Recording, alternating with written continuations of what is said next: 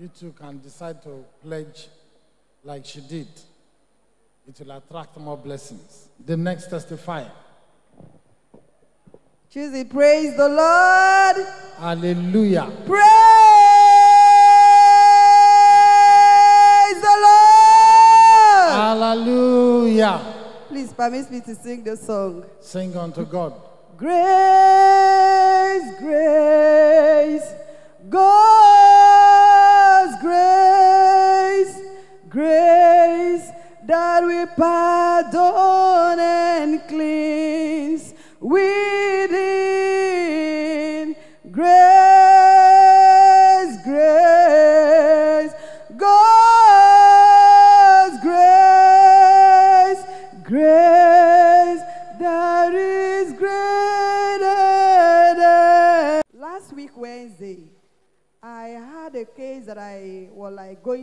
wanting to go for a divorce because of how my husband has been treating me. So when I went there, the pastor now, after counseling me, he now asked me to, and now invited me for the uh, had my account. So I now said, I called the pastor I'm going to come. So all of a sudden, they saw me landed. When I went to the headquarters, they said they've already moved. I said, ah, how am I going to go about it? So my mind now told me to go to the headquarters church and pick um, the address of the Edo Crusade. So I just said, okay. So when I went to the headquarters, I said, please, you should help me the address of the Edo Crusade. They asked me, ah, can you go, go alone? I said, the God of this mountain will direct me down there, that you should not worry. So that is how I entered road, entered from uh, Port Harcourt to Imbiama, from Imbiama to Warri, from Warri to Edo State. And here I am in Lagos. Praise the Lord! Hallelujah. The first miracle that God did for me, He took away um, the case of frequent urination. Power. In fact,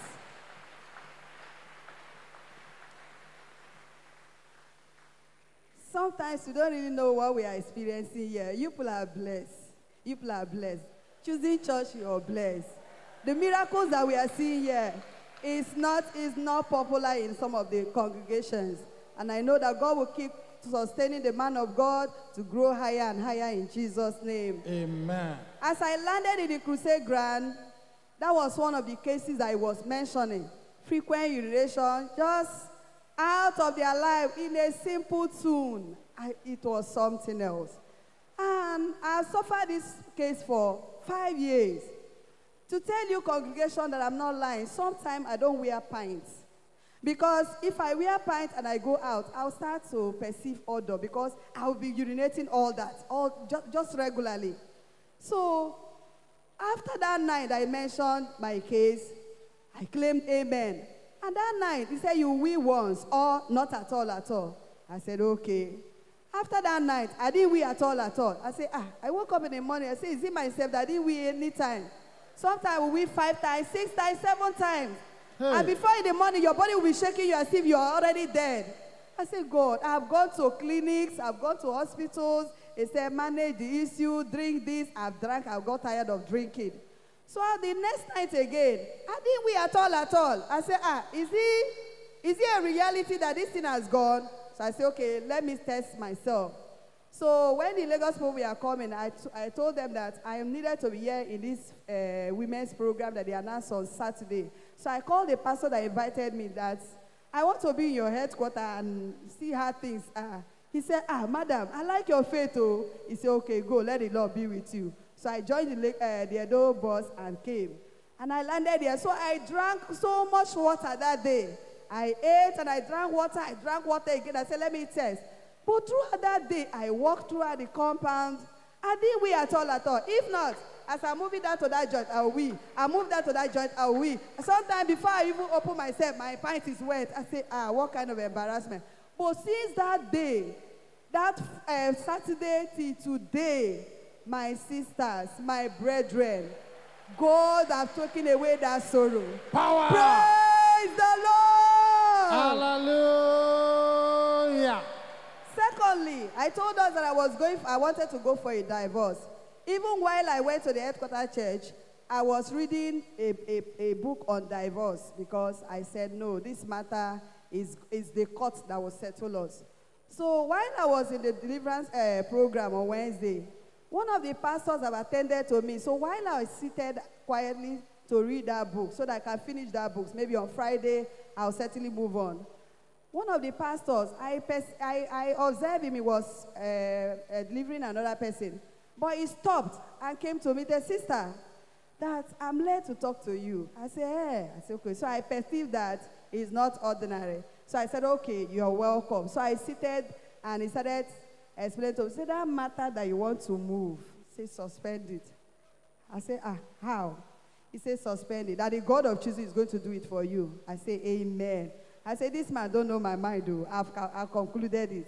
What was the case? A sales girl that we employed by, uh, by February, all of a sudden I started having bad dreams. And I never knew that this lady has gone where she will go and decided to take over my husband. I was at home.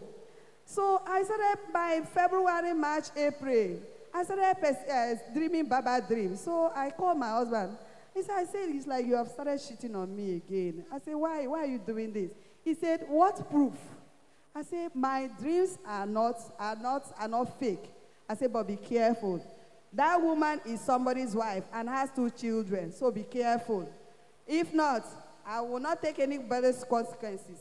So I didn't know that it was a reality. So all of a sudden, by May, early part of May, my husband came to the house and said, Please, from now henceforth, I don't want you to be cooking my food. I said, Ah, who is there cooking your food?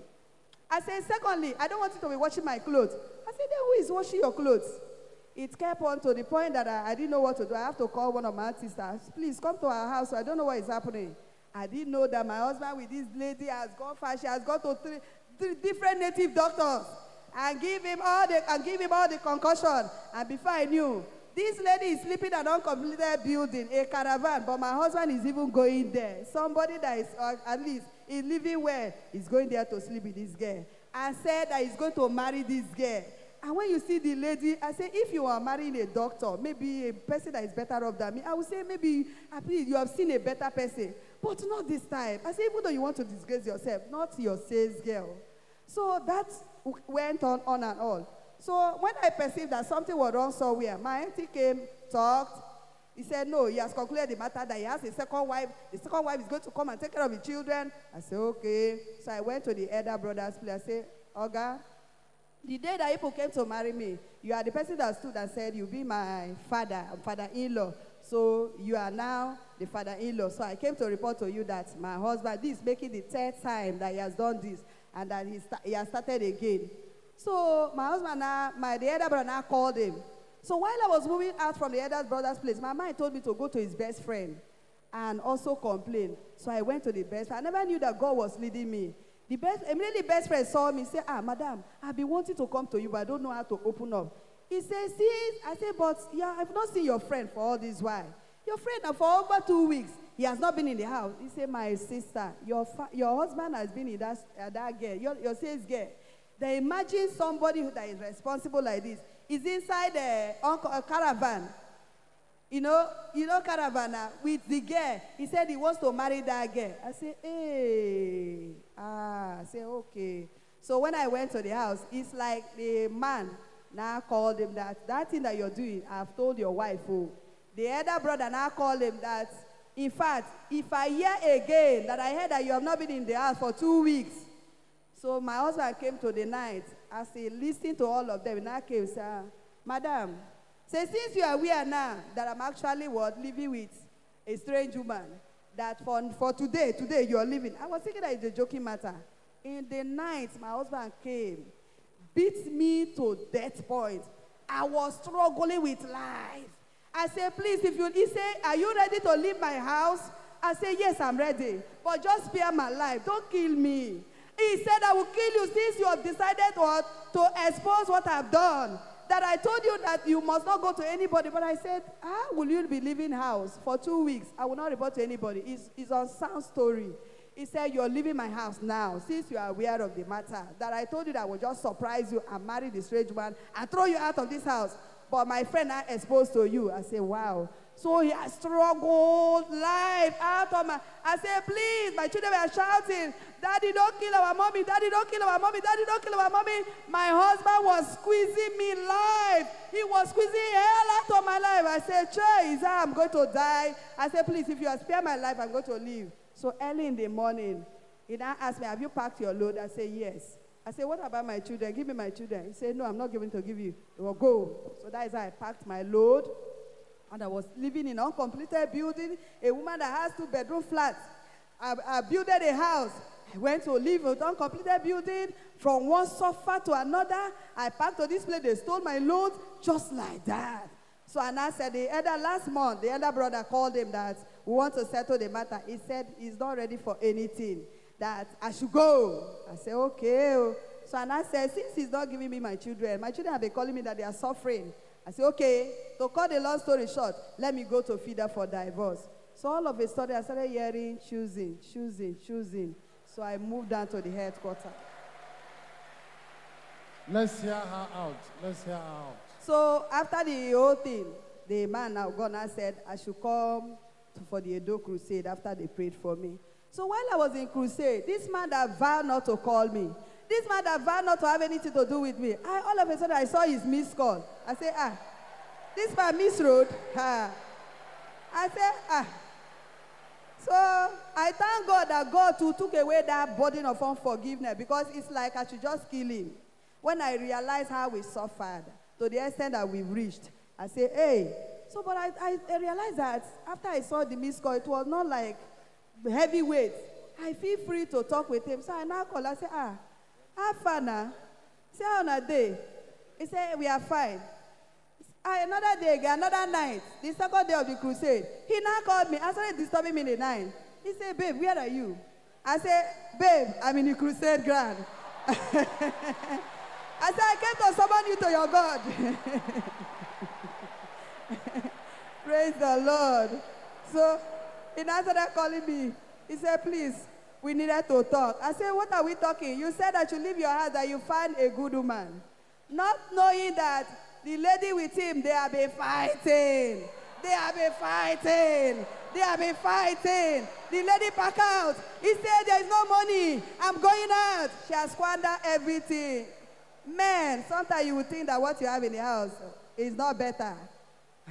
Be careful. Oh. This lady came and squandered everything. If it is a wife, he will manage now. But since everything is finished, she said she will go. My husband said, How will you go? I've chased my wife already because of you, so you will stay. He said, I'm not going. I'm not going. And, and ah, ah, that is how she packed.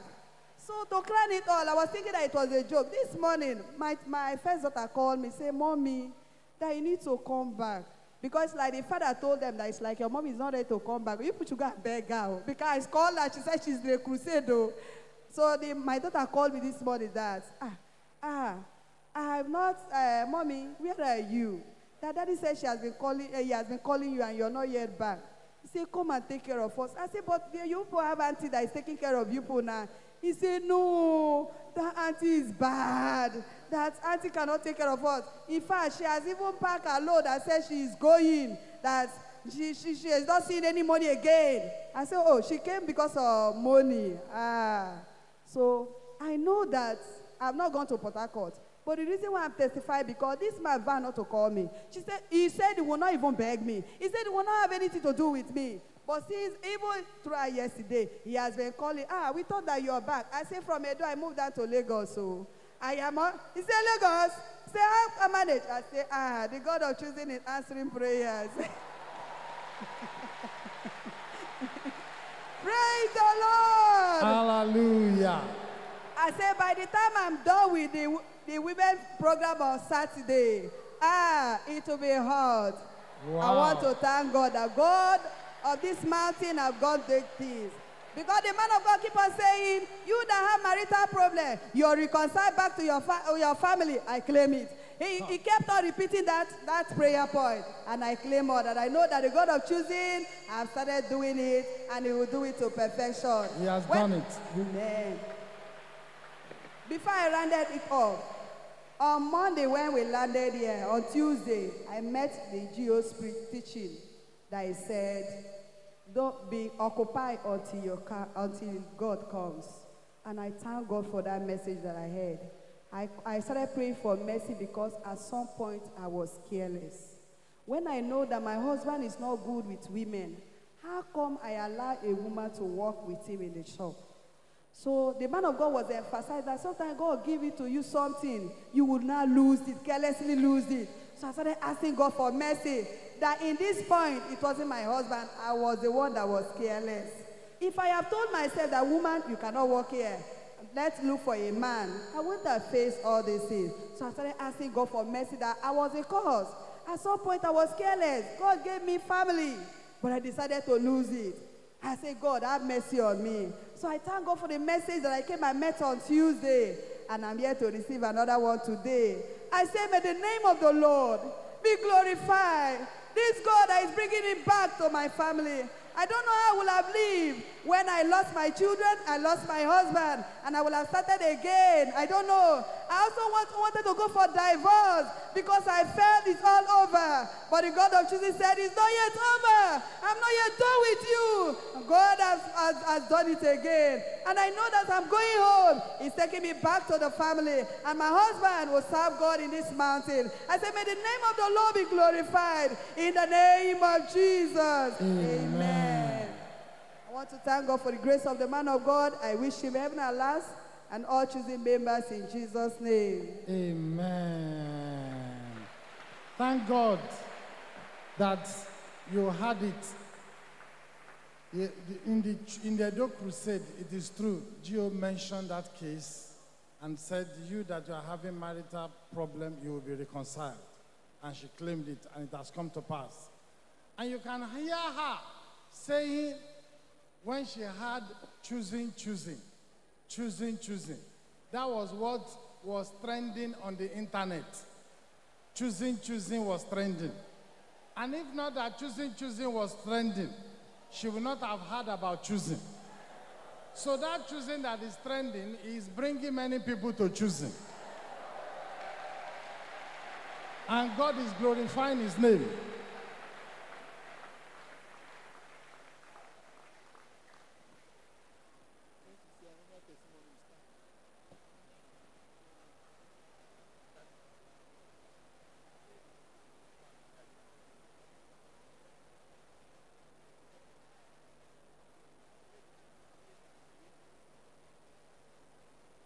Amen. So, as chosen is trending, is bringing people. And when the people came, G.O. mentioned her case, mentioned it severally. That that woman that is having problem, marital problem, you'll be reconciled. He mentioned it many times, and the woman claimed it. And today, God has gone to where the problem is and have solved it. The marriage that was, that was threatened with divorce, that the husband has asked her to go. Now, God has caused confusion between the husband and the strange woman. And now the husband is looking for his wife back. Only God of chosen can do this. Let's clap unto God and appreciate Him.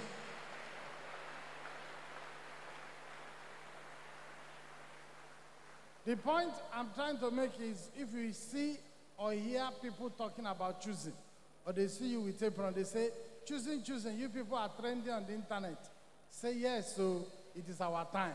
It is not our fault.